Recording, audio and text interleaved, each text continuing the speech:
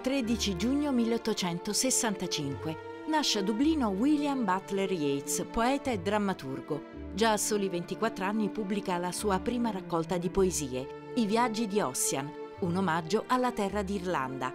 Nel 1892 fonda la Società Letteraria Irlandese e si innamora della patriota Maud Gonne, che tuttavia non lo ricambia. A lei Yeats dedica una delle sue più belle raccolte dal titolo Il vento fra le canne, il 27 dicembre 1904 Yates apre l'Abbey Theatre e continuerà ad occuparsi di teatro fino alla sua morte.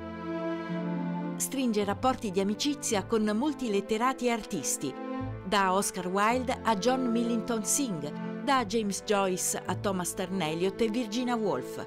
Per alcuni anni Ezra Pound gli fa da segretario. Nel 1923 riceve il premio Nobel per la letteratura. Muore nel 1939. William Butler Yeats, il poeta irlandese nato nel 1865 e morto nel 1939, scrisse questa poesia, I cigni selvatici a Cool, nel 1919. È indubbiamente una delle più grandi riuscite di un poeta che molti pensano sia la voce maggiore in senso assoluto della poesia in lingua inglese del nostro secolo.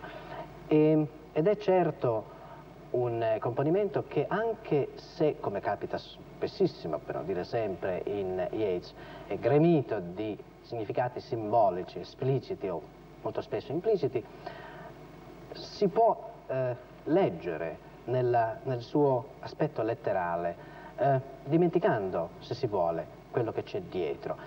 Infatti, quando Yeats riesce, e riesce sovente perché non è certo un poeta ineguale, mh, mm, offre una visione della realtà che non ha più nulla delle concessioni sentimentali, eh, dell'amore per il descrittivismo naturale caratteristico dei romantici, che ha una estrema robustezza interna e che ha una nitidezza e un ritmo davvero unici.